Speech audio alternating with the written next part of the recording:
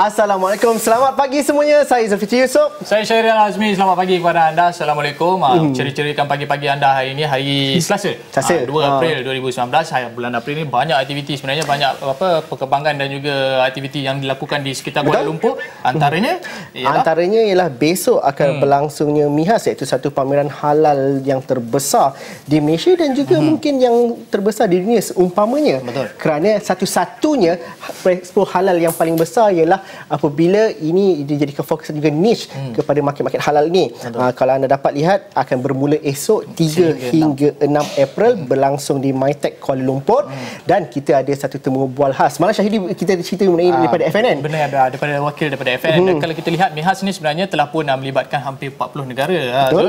dan juga melibatkan 1000 uh, 1000 uh, syarikat dan hmm. juga satu lebih 1 juta 1 hmm. juta perkhidmatan dan juga produk hmm. daripada uh, peng, uh, peng, peng, peng, pempamer pempamer uh, di Minhas ini. Dan salah satu syarikat hmm. ini ialah satu syarikat berasaskan uh, produk kelapa. Hmm. Saya bertanya kan kita sempat uh, menembual salah seorang daripada orang besarnya, hmm. orang hebatnya. Kita tanyakan kenapa halal ini menjadi hmm. satu aspek yang paling penting hmm. untuk mengembangkan sesuatu bisnes. Betul. Dan katanya uh, halal ini bukan berkaitan dengan uh, peraturan agama dan sebagainya, hmm. tapi adalah added value yang baru. Uh, kita hmm. dengarkan sedikit temu bual ini. Eh, dari sejak dulu halal dia sebenarnya tak begitu penting. Halal dari dulu dia berkaitan dengan um, Islam, makanan Islam ke apa tapi uh, itu uh, evolution dengan ha- makanan halal sudah bertukar kepada bukan saja bahan mentah. Dia bukan saja ingredient, dia dengan proses dia, mesin dia, alam sekitar, orang yang mengendalikan makanan tu dia pun kena ada satu komiti halal. Hmm. So itu uh, seluruh sistemnya dia sudah membuatkan halal macam ISO, macam HACCP, macam uh, makanan BRC ke apa. So bila bila pembeli dari uh, masyarakat uh, makanan halal dia, dia dia dia dia tengok halal tu bukan satu satu certification saja dia satu standard yang boleh dipercayai. Mm-hmm. Uh, terutamanya di Malaysia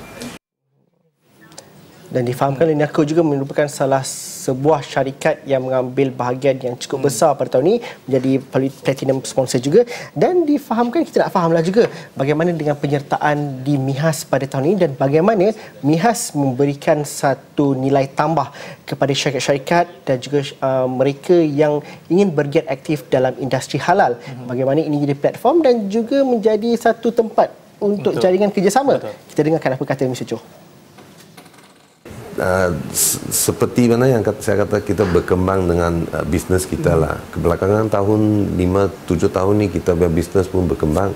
Jadi expo sudah uh, menambah juga. Tahun lepas kita ada lebih kurang 25 exhibition. Tahun ini kita target 30 exhibition. Jadi halau yang saya tadi baru cakap kan kita populasi ha, uh, makanan halal sudah meningkat. Tiap-tiap tahun meningkat.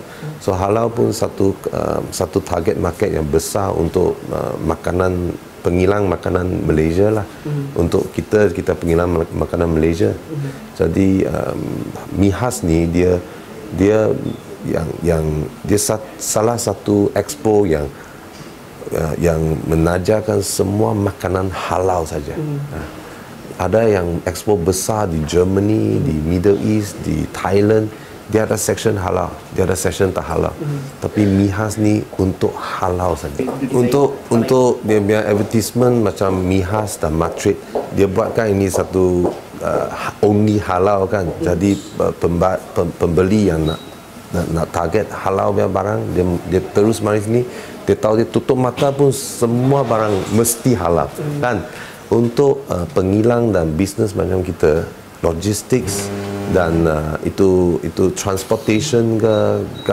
macam sekarang kalau kita pergi ke ke Middle East kan kita ada ada yang pergi sana hantar kontainer sampel semua kena sangkut sini sana. Tapi untuk Malaysia itulah ha, itu terus you tak you tak jauh. Kalau you dekat Ipoh pun dekat Johor Bahru pun you tak cukup sampel kena jumpa orang you bawa naik turun 3 uh, 4 jam sudah sampai. Ha. Hmm, apabila kita cerita, cerita mengenai halal ini inilah rantaian bekalan secara keseluruhan Betul. bukannya produk ataupun makanan sahaja dan kalau Tapi, kita tengok halal juga Zul sebenarnya adalah uh, satu lagi cara untuk SME untuk uh, menembusi pasaran luar luar betul tak? dan juga pempamer yang ada di Mihas juga dikabarkan bahawa bukan saja datang daripada negara-negara yang tapi daripada muslim seluruh, tapi daripada ha. seluruh dunia betul. malah daripada negara-negara seperti China hmm. dan juga Jepun juga hmm. dah sedar kepentingan halal hmm. ini dan kita nak lihat juga kerana untuk mendapatkan pengiktirafan halal ini bukanlah satu perkara yang mudah ramai yang ambil jalan pintas hmm. terutama kepada SME hmm. tapi Mr. Joe daripada Linaco mengatakan bahawa untuk SME contohnya penting untuk mereka memahami konsep dan juga pensijilan halal ini hmm. apabila mereka memulakan perniagaan daripada awal lagi hmm. jadi mereka dapat berkembang dengan lebih mudah dengan adanya pengiktirafan halal dan ini memberikan satu nilai tambah kepada mereka apa ceritanya apakah nasihat beliau kepada SME yang ingin men, uh, participate dalam MIHAS dan juga mungkin nasihat beliau untuk pensijilan halal kita dengarkan ini Um, number one untuk um, apa-apa proses pun saya uh, advise saya lah jangan cari shortcut lah.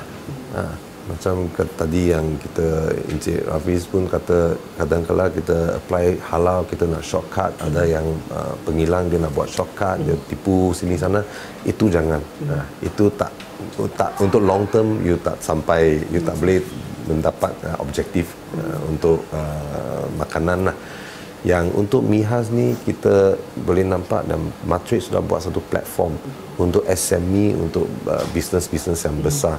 So macam bisnes kita uh, tak cakap besar sangat lah, tapi kita boleh handle um, um, exhibition cost uh, by ourselves. Jadi untuk SME yang yang baru mula tu boleh cakap dengan boleh bincang dengan Matrix. Saya percaya dia ada satu platform untuk menggalakkan Uh, bisnes kecil dan SME untuk untuk untuk uh, expo dalam uh, Mihas lah.